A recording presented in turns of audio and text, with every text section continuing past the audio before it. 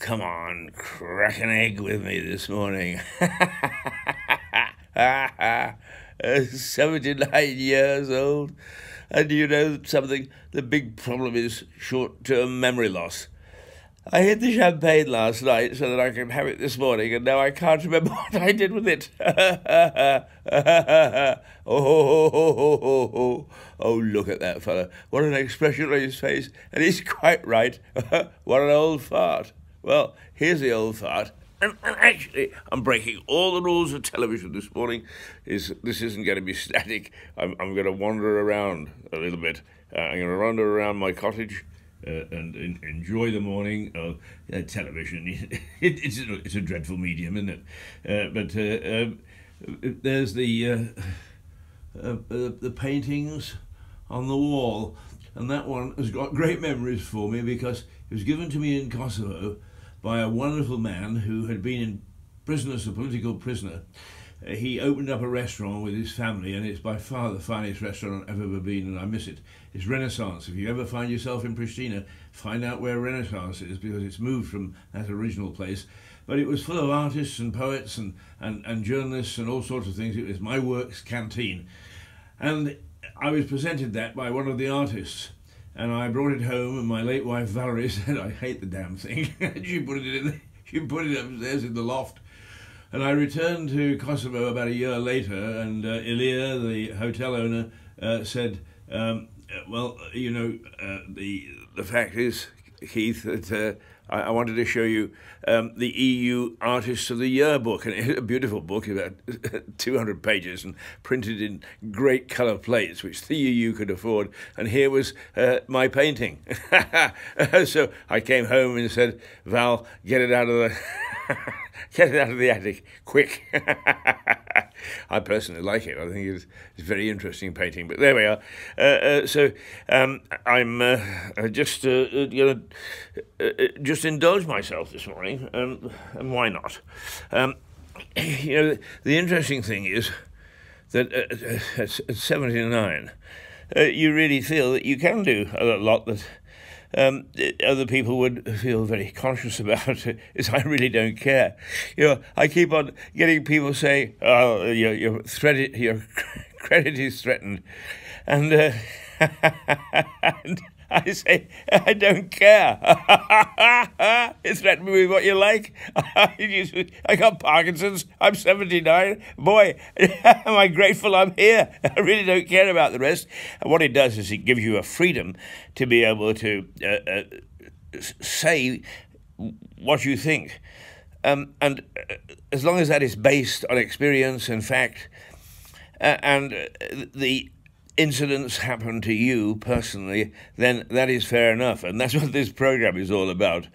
Now, I've had all sorts of, of, people because I've kicked around the world. I've been to more than 60 countries in my lifetime, and I've worked in extensively, when I say extensively, more than a week, but sometimes a year or two years, in about 40 of them. So I'm not doing too badly on that regard. But you know, the one thing that I never done, and it, if I it's on my bucket list, and one way or another I'll do it one day, and that is uh, go south of the equator. Everywhere that I've travelled has been extensively across the northern hemisphere.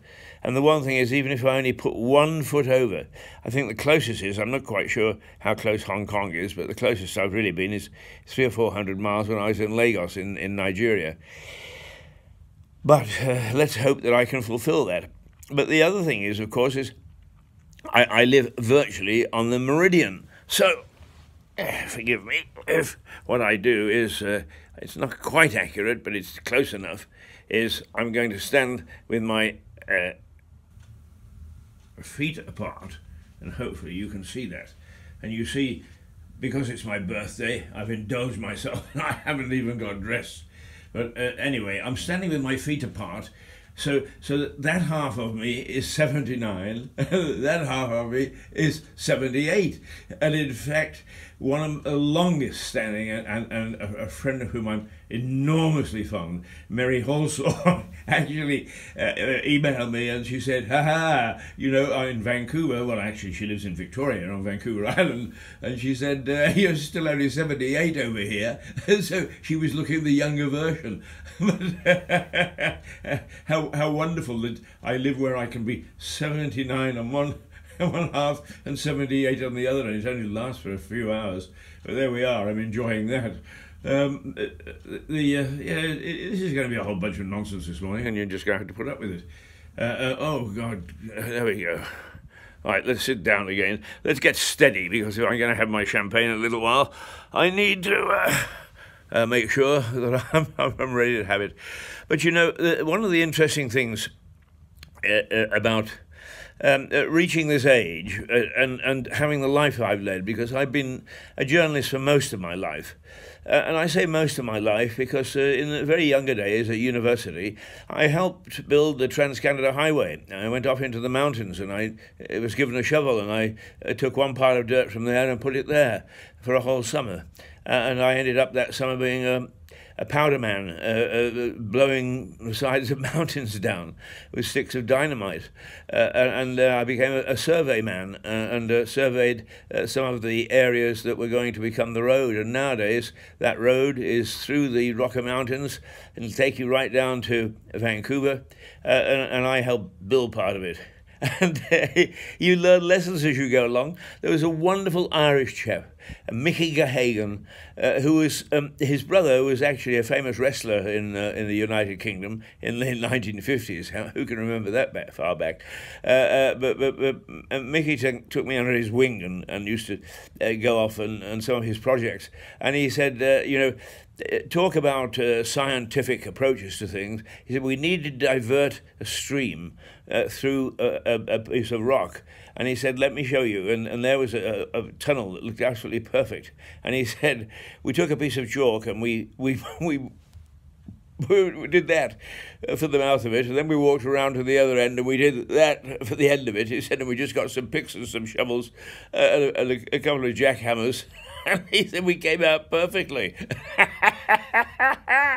Oh, now if I go to the bank, you know, I, I just hilarious. I, I, I went to, to a bank the other day because I'm trying to get the address of, of my dear old aunt who just died, and, and um, it, I, I said, uh, you know, here's, here's her name and so on and so forth, and I've been asked to find out um, if she closed an account or whatever. And, and the lady who was charming said, you know, you, you unless you could give me the postcode, we, we don't deal in names anymore. I, I, I couldn't help but think about Mickey Gahagan and uh, uh, the, how he built a tunnel, and now you, you can't find out how much anybody's got left in a bank account unless you've got the postcode.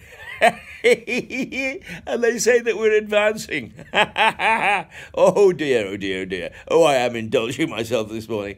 Uh, but, but you know, uh, the other thing is, it, it, it's funny, and people intend to be nice, and and uh, and of course I sometimes have a very sharp tongue, and those who are good friends, uh, uh, uh and I'm pleased to say that I really do have a lot of good friends, even if I've picked up a few enemies along the way. That's life, and that's the sort of thing that you meet at 79. and, and with the, the, the, modern way of, uh, of doing things on the internet, uh, the, the enemies troll from time to time.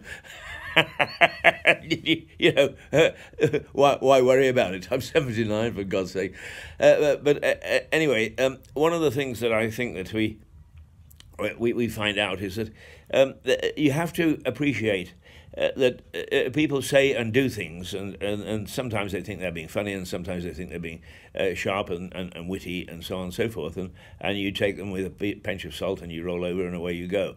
Uh, but there was uh, I, yesterday. I've been rabbiting on about the fact that the local government, and I will continue to rabbit on, are talking about taking away the bus pass from elderly people in East Sussex. I haven't heard anybody else, any other council, uh, uh, say the same thing. So we would be different, and I think that they do have to actually get legislation changed to be able to do that. But nonetheless, uh, that that's in their plans because um, they spend so much money on roads and so on and so forth. But I, I, I happen to, to mention because uh, we have a, a, a lovely uh, part of the coast uh, east of here called Pevensey, Pevensey Bay.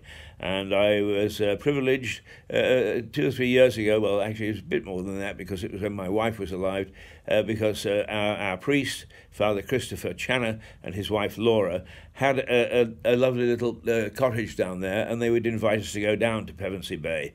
And we spent many happy hours there. But I happened to mention that one of the, the cuts was likely to be a bus from Pevensey.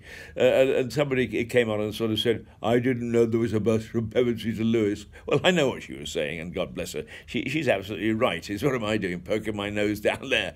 Uh, but uh, we are we do try on this program to link uh, uh, what I call the tiny towns from Battle to uh, to Brighton. Brighton's not a tiny town, but we only go as far as Kemp Town on the edge uh, of Brighton, and that is tiny, or at least in our terms. but but really, the thing that I would like to point out is that it doesn't matter where you are, all roads lead to a wonderful adventure. And if it's Pevensey, you get on the bus and you can end up in Hong Kong. You can end up in China. Another of my good friends, Alex Kirby, took his wife and went on the Trans Siberian Railway and then uh, uh, flew across to Japan. And he started in Lewes uh, on the number 28 bus, going down to the uh, uh, station in Brighton to catch the train to Gatwick Airport. Don't ignore the bus on your route. Don't let them cut it because it can take you into lands that are magic. It can give you a life that is wonderful. Number 28 bus, or whatever number your bus is, don't ever let them cut it because you'll regret it for the rest of your life. It can take you off into the sunset or into the sunrise, into marvelous places and after a lifetime of being a curmudgeon and a miserable sod, to be very bluntly, and yes, as, as he says, what an old fart. And he's absolutely right. and I love being one. You've no idea the freedom it gives you.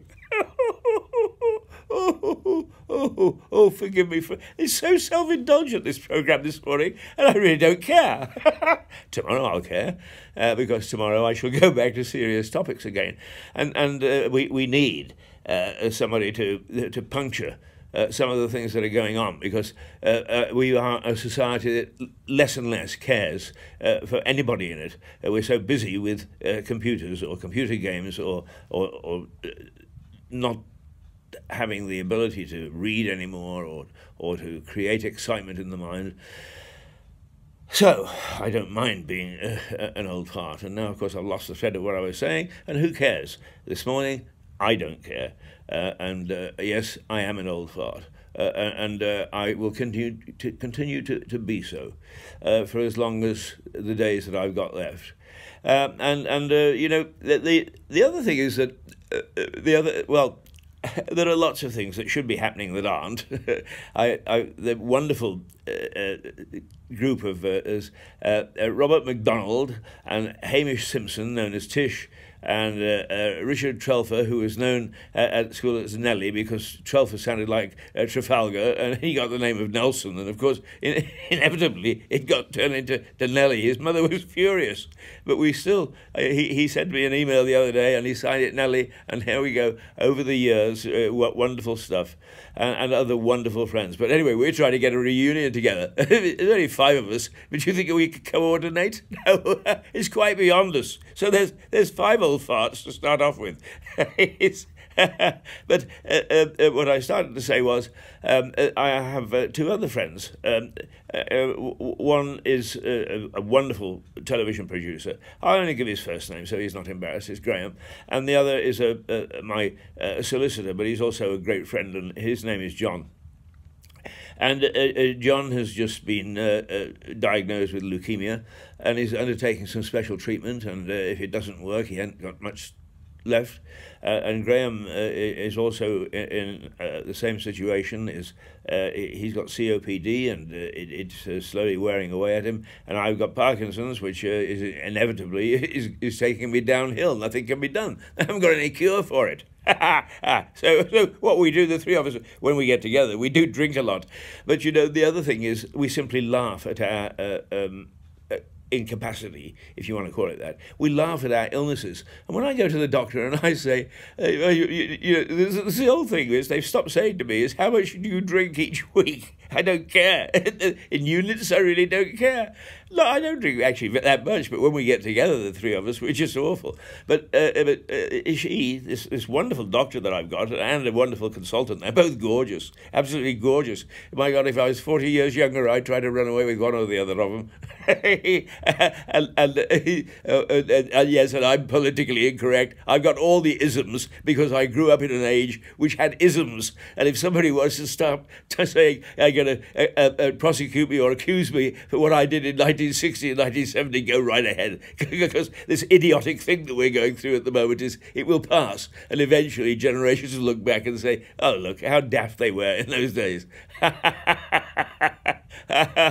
you see, I can say all these things, and, and, and, the thought police aren't going to come and pick me up, I doubt, because it won't be worth it. But anyway, uh, uh, uh, what the, the doctor and the consultant say is the three of us do exactly the right thing. There was once a, a, a, a man, he it was a book was written about him and a movie was made of him. He locked himself into a, a, room, in a hotel room, and, and found all the comedies that he could in books and, and films and so on, and he watched them all, and he laughed and laughed and laughed and laughed himself uh, so that he cured himself of, of his illness. And, and we're the same, the three of us. We, we just stare it in the face, we laugh, we giggle, we say the most outrageous things, and occasionally we can't find the bus stop because of, of the amount we've had to drink on a particular day.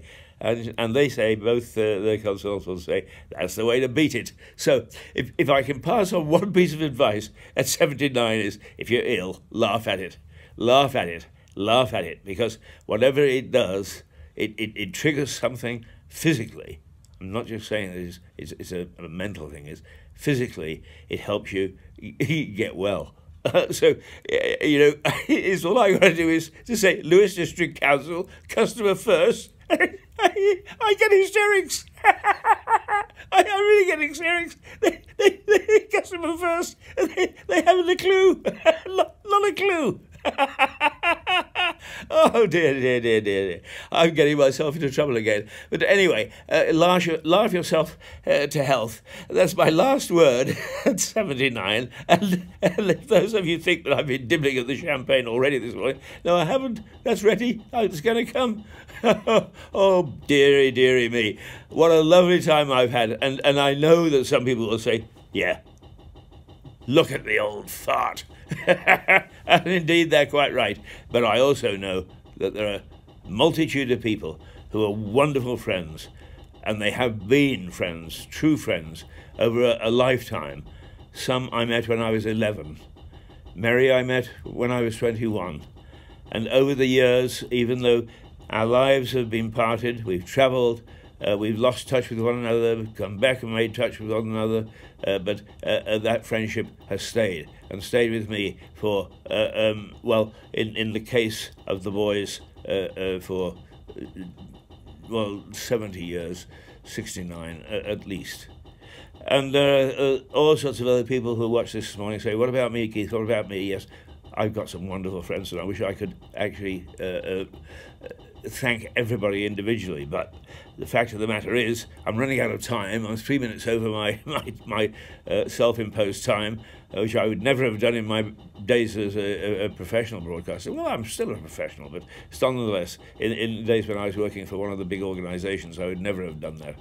Uh, I was going to wax lyrical about being an entrepreneur and all the rest of it, but I, I'm sorry. um, today, I'm half 79, and in eight hours' time, Mary, I'll be all 79 because uh, the meridian will have caught up with me. Uh, but I still need to dip my toe south of the equator, and when I do, I'll let, let you all know. But uh, I've had a wonderful life, uh, uh, and I've got wonderful friends, and I've got wonderful memories. Uh, but I figure, as I put in a blog last night, I've still got 11 years. You've all got me, put up with me for another 11 years uh, before I actually peg it. Uh, and during those 11 years, I hope that I can get around to a few more countries that I haven't been to. But go back to uh, the Balkans, uh, to Armenia, to Russia, uh, to the Middle East, uh, to Canada, to the United States, to all the places that I've been and had so much fun. have so many friends and had a, a great deal of love for towards me. At 79, not bad at all, not bad. Well, uh, I, am going to uh, have some of these, and if I can find the champagne, why not? I'm going to get pissed. What a lovely thought for the day. Toodle pip.